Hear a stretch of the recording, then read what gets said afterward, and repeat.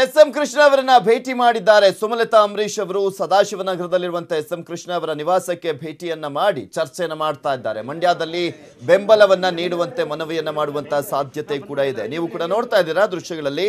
ಸುಮಲತಾ ಅಂಬರೀಶ್ ಅವರು ಸದಾಶಿವನಗರದಲ್ಲಿರುವಂತಹ ಅಂಬರೀಶ್ ಅವರ ನಿವಾಸಕ್ಕೆ ಬಂದಂತಹ ದೃಶ್ಯಾವಳಿಗಳು.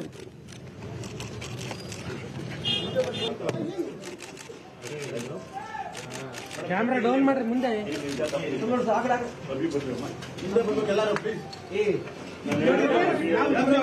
ಈ ಕುರಿತಂತೆ ಹೆಚ್ಚಿನ ಡೀಟೇಲ್ಸ್ ಅನ್ನ ನೀಡ್ತಾರೆ ನಮ್ಮ ಪ್ರತಿನಿಧಿ ಚಿದಾನಂದ್ ಪಟೇಲ್ ದೂರವಾಣಿ ಸಂಪರ್ಕದಲ್ಲಿದ್ದಾರೆ. ಎಸ್ ಚಿದಾನಂದ್ ಪಟೇಲ್, ಸುಮಲತಾ ಅಂಬರೀಶ್ ಅವರು ಎಸ್ ಎಂ ಕೆ ನಿವಾಸಕ್ಕೆ ಹೋಗಿ ಈಗಷ್ಟೇ ಮಾತುಕತೆಯನ್ನು ಆರಂಭಿಸಿದ್ದಾರೆ. ಏನೆಲ್ಲ ಮಾತನಾಡುವಂತ ಸಾಧ್ಯತೆ ಇದೆ? ಪೃಥ್ವಿರಾಜ್ ಮಹತ್ತರ ಬೆಳವಣಿಗೆ ಹಿನ್ನೆಲೆಯಲ್ಲಿ ಸುಮಲತರವರು ಇದೀಗ ಎಸ್ ಎಂ ಕೃಷ್ಣರವರನ್ನ ಬೆಂಗಳೂರಿನ ಸದಾಶಿವ ನಗರದಲ್ಲಿ ಭೇಟಿಯಾಗಿದ್ದಾರೆ.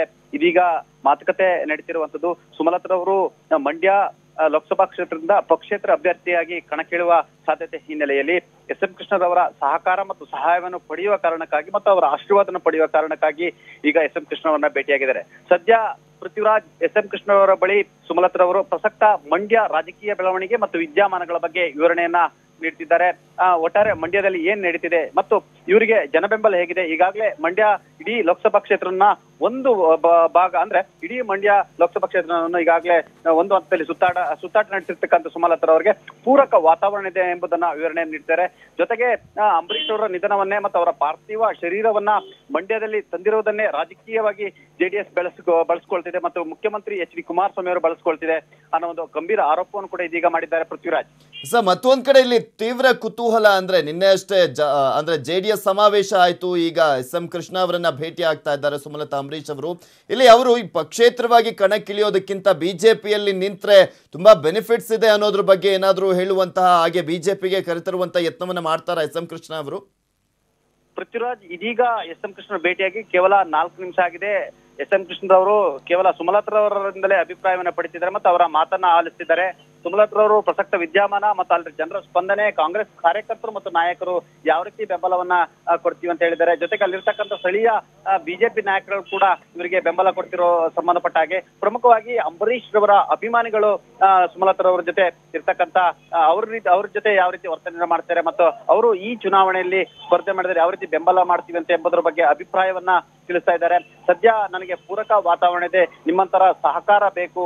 ಮತ್ತು ಅಲ್ಲಿ ಬೇರೆ ರೀತಿಯ ರಾಜಕೀಯ ನಡೀತಾ ಇದೆ ಅನ್ನೋ ಒಂದು ದಾಟಿಯಲ್ಲಿ ಅವರು ವಿವರಣೆಯನ್ನ ನೀಡುತ್ತಿದ್ದಾರೆ ಪೃಥ್ವಿರಾಜ್. ಎಸ್ ಮತ್ತೊಂದ್ ಕಡೆ ಎಸ್ ಎಂ ಕೃಷ್ಣ ಅವರು ಅಂದ್ರೆ ಮಂಡ್ಯದಲ್ಲಿ ಸಾಕಷ್ಟು ಅವರದ್ದೇ ಆದಂತ ವೋಟ್ ಬ್ಯಾಂಕ್ ಅನ್ನ ಹೊಂದಿರುವಂತವ್ರು. ಯಾಕೆಂದ್ರೆ ಐವತ್ತು ವರ್ಷಗಳ ರಾಜಕಾರಣ, ಅದರಲ್ಲೂ ಮಂಡ್ಯದಿಂದ ಸಿಎಂ ಆದಂತವರು.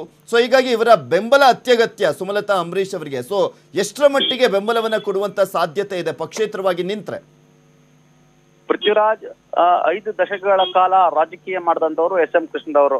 ಅವರು ಪ್ರಧಾನಿ ಮತ್ತು ರಾಷ್ಟ್ರಪತಿ ಮತ್ತು ಉಪರಾಷ್ಟ್ರಪತಿ ಹುದ್ದೆ ಮತ್ತು ಎಲ್ಲ ಲೋಕಸಭೆ ಸ್ಪೀಕರ್ ಹುದ್ದೆಯನ್ನು ಬಿಟ್ಟರೆ ಎಲ್ಲ ಹುದ್ದೆಯನ್ನ ಅವರು ಈ ದೇಶದಲ್ಲಿ ಅನುಭವಿಸಿದಂತವ್ರು ಅವರಿಗೆ ರಾಜಕೀಯ ಅನ್ನೋದು ಅವರಿಗೆಲ್ಲ ಒಂದು ನೀರು ಕುಡಿದಷ್ಟೇ ಸುಲಭ. ಅದರಲ್ಲೂ ಕೂಡ ಮಂಡ್ಯ ರಾಜಕಾರಣದ ಇಂಚಿಂಚು ಮಾಹಿತಿ ಕೂಡ ಅವರಿಗೆ ಇರುವಂತದ್ದು ಅಲ್ಲದೆ ಅವರು ಸ್ವತಃ ಮದ್ದೂರಿನವರಾಗಿದ್ದರಿಂದ ಅವರ ನೆರವು ಮತ್ತು ಅವರ ಅಭಿಮಾನಿಗಳಿದ್ದಾರೆ, ಅವರ ಫಾಲೋವರ್ಸ್ ಕೂಡ ಈಗಲಿದ್ದಾರೆ. ಇವರನ್ನ ನಂಬಿರ್ತಕ್ಕಂಥ ಅನೇಕ ನಾಯಕಗಳಿದ್ದಾರೆ ಹಾಗಾಗಿ ಅವರ ಸಹಕಾರ ಮತ್ತು ಸಹಾಯವನ್ನ ಪಡೆಯಲಿಕ್ಕೆ ಸುಮಲತರು ಬಂದಿದ್ದಾರೆ. ಆ ಎಸ್ ಎಂ ಕೃಷ್ಣ ಅವರು ತಾವು ಕುಳಿತಲ್ಲೇ ತಮ್ಮ ನಾಯ, ತಮ್ಮ ಆಪ್ತರು, ತಮ್ಮ ಬೆಂಬಲಿಗರು, ತಮ್ಮ ಹಿಂಬಾಲಕರ ಜೊತೆ ಚರ್ಚೆ ಮಾಡಿ, ಅವರಿಗೆ ದೂರವಾಣಿ ಕರೆ ಮಾಡಿ, ಅವರಿಗೆ ತಿಳಿಸಿದ್ರು ಕೂಡ ಅದು ಸುಮಲತಾ ಅವರಿಗೆ ಬೇರೆ ರೀತಿ ಸಹಕಾರ ಆಗುತ್ತೆ. ಒಟ್ನಲ್ಲಿ ಮಂಡ್ಯ ರಾಜಕಾರಣದಲ್ಲಿ ದೇವೇಗೌಡ ಕುಟುಂಬ ಎಂಟ್ರಿ ಆಗಬಾರದು ಎಂಬ ಹಿನ್ನೆಲೆಯಲ್ಲಿ ಎಸ್ ಎಂ ಕೃಷ್ಣರವರು ಕೂಡ ಪೂರಕವಾಗಿ ಸುಮಲತರಿಗೆ ಸ್ಪಂದಿಸುವ ಸಾಧ್ಯತೆ ಇದೆ ಅಂತ ಹೇಳಲಾಗ್ತದೆ. ಯಾಕಂತ ಹೇಳಿದ್ರೆ ಈಗಾಗಲೇ ಹಾಸನ ಜಿಲ್ಲೆ ಆಯ್ತು, ಜೊತೆಗೆ ಬೆಂಗಳೂರು ರಾಮನಗರ ಜಿಲ್ಲೆಯಲ್ಲೂ ಕೂಡ ಈಗಾಗಲೇ ದೇವೇಗೌಡರ ಕುಟುಂಬ ಈಗ ಎಂಟ್ರಿ ಕೊಟ್ಟಿರುವಂತದ್ದು ಇದೀಗ ಮಂಡ್ಯದಲ್ಲೂ ಕೂಡ ಅವರ ಕುಡಿ ಬಂದ್ರೆ ಮುಂದಿನ ಮಂಡ್ಯ ರಾಜಕಾರಣ ಪೂರ್ತಿ ದೇವೇಗೌಡರ ಹಿಡಿತಕ್ಕೆ ಹೋಗುತ್ತೆ ಎಂಬ ಒಂದು ಮಾತು ಕೂಡ ಕೇಳಿ ಬರ್ತಿರೋದ್ರಿಂದ ಅನಿವಾರ್ಯವಾಗಿ ಎಸ್ ಎಂ ಕೃಷ್ಣರವರು ಸುಮಲತೆಗೆ ಬೆಂಬಲ ಬೆಂಬಲ ಘೋಷಿಸುವ ಸಾಧ್ಯತೆ ಇದೆ ಅಂತ ಹೇಳಲಾಗ್ತದೆ. ಒಟ್ಟಿನಲ್ಲಿ ಸದ್ಯ ಈಗ ಮಾತುಕತೆ ಮುಂದುವರೆದಿದೆ Prithviraj. Okay thank you Chidanand Patel ನಿಮ್ಮೆಲ್ಲ ಡೀಟೇಲ್ಸ್ಗಾಗಿ ಎಸ್ ನೋಡ್ತಾ ಇದೀವಿ ಇಲ್ಲಿ ಪ್ರಮುಖವಾಗಿ ಮಂಡ್ಯದ ಚುನಾವಣಾ ಕಣ ರಂಗೇರ್ತಾ ಇದೆ. ಇವತ್ತು ಸುಮಲತಾ ಅಂಬರೀಶ್ ಅವರು ಈಗಷ್ಟೇ ಎಸ್ ಎಂ ಕೃಷ್ಣ ಅವರ ಮನೆಗೆ ಭೇಟಿಯನ್ನ ನೀಡಿ ಚರ್ಚೆಯನ್ನ ಕೂಡ ನಡೆಸ್ತಾ ಇದ್ದಾರೆ. ಯಾಕೆಂದ್ರೆ ಮಂಡ್ಯ ರಾಜಕಾರಣದಲ್ಲಿ ತನ್ನದೇ ಆದಂತ ಚಾಪನ್ನ, ತನ್ನದೇ ಆದಂತ ವೋಟ್ ಬ್ಯಾಂಕ್ ಅನ್ನ ಹೊಂದಿರುವಂತವರು ಎಸ್ ಎಂ ಕೃಷ್ಣ ಅವರು. ಯಾಕೆಂದ್ರೆ ಈಗ ಆಲ್ರೆಡಿ ನೋಡ್ತಾ ಇದ್ವಿ, ಇಲ್ಲಿ ಪ್ರಮುಖವಾಗಿ ಸಿಎಂ ಆಗಿದ್ದು ಕೂಡ ಎಸ್ ಎಂ ಕೃಷ್ಣ ಅವರು ಮಂಡ್ಯ ಜಿಲ್ಲೆಯವರಾಗಿದ್ದಾರೆ. ಸೊ ಹೀಗಾಗಿ ಮಂಡ್ಯ ಜಿಲ್ಲೆಯಲ್ಲಿ ಎಸ್ ಎಂ ಕೃಷ್ಣ ಅವರ ಸಪೋರ್ಟ್ ಬೇಕೇ ಬೇಕು ಸುಮಲತಾ ಅಂಬರೀಶ್ ಅವರಿಗೆ. ದೇವೇಗೌಡರ ಫ್ಯಾಮಿಲಿಯನ್ನ ಜೆ ಡಿ ಎಸ್ ಭದ್ರಕೋಟೆಯನ್ನ ಛಿದ್ರ ಛಿದ್ರ ಮಾಡಬೇಕು ಅಂದ್ರೆ ಸೊ ಹೀಗಾಗಿ ಎಸ್ ಎಂ ಕೃಷ್ಣ ಅವರ ಬೆಂಬಲ ಅತ್ಯಗತ್ಯ.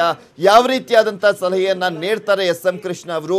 ಅದೇ ರೀತಿಯಾಗಿ ಮುನ್ನುಗ್ಗುವಂತಹ ತಮ್ಮ ಮುಂದಿನ ನಡೆಯನ್ನ ಇಡುವಂತಹ ಸಾಧ್ಯತೆ ಇದೆ. ಸುಮಲತಾ ಅಂಬರೀಶ್ ಅವರು. ಸೊ ಹೀಗಾಗಿನೇ ಸಾಕಷ್ಟು ಕುತೂಹಲಕ್ಕೆ ಎಡೆಮಾಡಿಕೊಟ್ಟಿರುವಂತದ್ದು ಎಸ್ ಎಂ ಕೃಷ್ಣ ಮತ್ತು ಸುಮಲತಾ ಅಂಬರೀಶ್ ಅವರ ಇವತ್ತಿನ ಭೇಟಿ. ಏನಾಗುತ್ತೆ? ಈ ಒಂದು ಭೇಟಿ ಆದ್ಮೇಲೆ ಏನಾದ್ರೂ ಬಿಜೆಪಿಗೆ ಸೇರುವಂತ ಸಾಧ್ಯತೆ ಇದೆಯಾ? ಅಥವಾ ಪಕ್ಷೇತರವಾಗಿದ್ದುಕೊಂಡೇ ಬಿಜೆಪಿ ಸುಮಲತಾ ಅಂಬರೀಶ್ ಅವರನ್ನ ಬೆಂಬಲಿಸುವಂತ ವಿಚಾರಕ್ಕೆ ಸಂಬಂಧಪಟ್ಟಂತೆ ನಿರ್ಧಾರವನ್ನ ಕೈಗೊಳ್ತಾರ? ಇದರ ಬಗ್ಗೆ ಇವತ್ತು ಮೋಸ್ಟ್ ಪ್ರಾಬಬ್ಲಿ ಸ್ಪಷ್ಟವಾಗಿ ಗೊತ್ತಾಗಲಿದೆ. ಯಾಕೆಂದ್ರೆ ಮಾರ್ಚ್ ಹದಿನೆಂಟನೇ ತಾರೀಕು ತನ್ನ ನಿರ್ಧಾರವನ್ನ ಪ್ರಕಟ ಮಾಡ್ತೀನಿ ಅಂತ ಸುಮಲತಾ ಅಂಬರೀಶ್ ಅವರು ಹೇಳಿದ್ರು.